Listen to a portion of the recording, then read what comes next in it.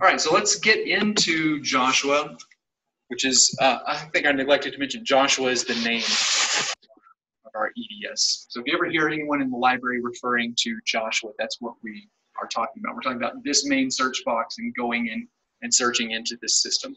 Just go ahead and do a keyword search here to kind of go into Joshua and we'll take a look at what the results are. We'll talk about how to uh, navigate those results, how to use those results to find better results and different things that we can do once we are inside Joshua.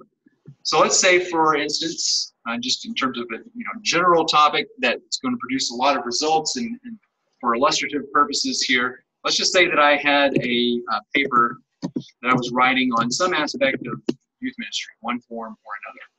So I'm going to use that as my keyword search.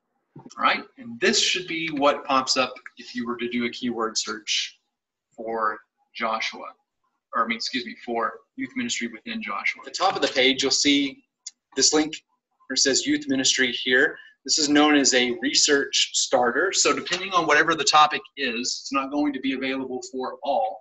But in some cases, you may find a research starter article at the very top of the results. And essentially what that is, is uh, think of it as like an encyclopedia or dictionary entry regarding whatever that topic is. By dictionary, I mean like, you know, say like something like a theological dictionary, for instance.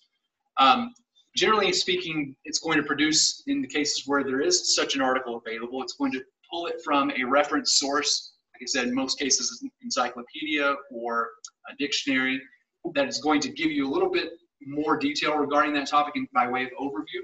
So just kind of like a real quick summary like you would expect in an encyclopedia article written by an expert in the field and then perhaps a, a short bibliography at the end of that with a few sources to kind of get you started on your research, that kind of thing. So it might be useful, might not, uh, but would be available in some cases, but also not others. But it, if it is there, it might be worth checking out just to kind of get things going for you.